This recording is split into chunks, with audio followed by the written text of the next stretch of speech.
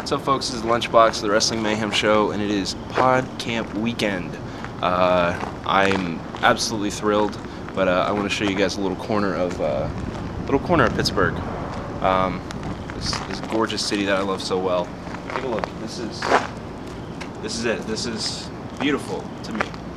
This is absolutely gorgeous. This is the city that uh, I've come to fall in love with, and I've come to call home.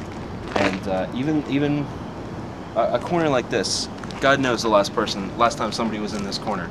Um, who knows? It could have been. It could be years since someone was here. Clearly, the Todd was here. The Todd was here at some point. But uh, in that same vein, somebody could have slept here two nights ago. I mean, the weather's just now getting cold, so uh, it's absolutely gorgeous. Let's look over here. We're, uh, we're currently on the south side. Uh, we're by the brew house. Uh, I'm taking a little break from covering the Black Sheep Puppet Festival. And, uh, but, uh, we, we've just stumbled across a, a gorgeous area here.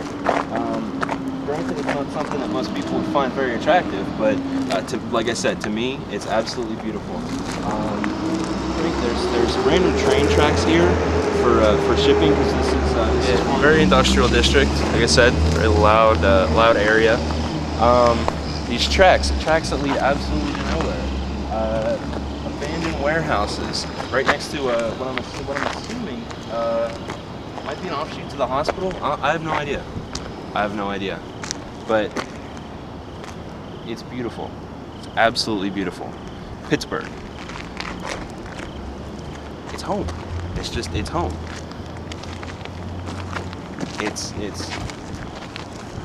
I was trying to describe this to um, one of the uh, VIPs of PodCamp, someone who we've flown in, but there's just there's something about Pittsburgh. It's um.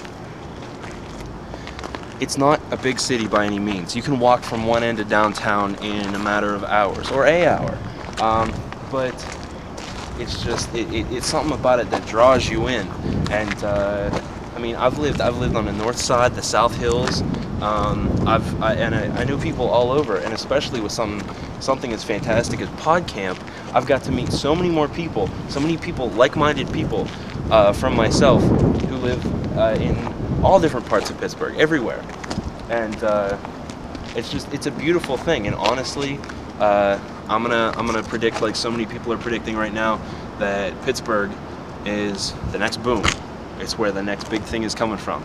We are currently experiencing a technological uh, uh, rejuvenation to the area, and uh, the next step is you know financial. And uh, I think we've already proven that you know we're capable of it, and God knows it's time.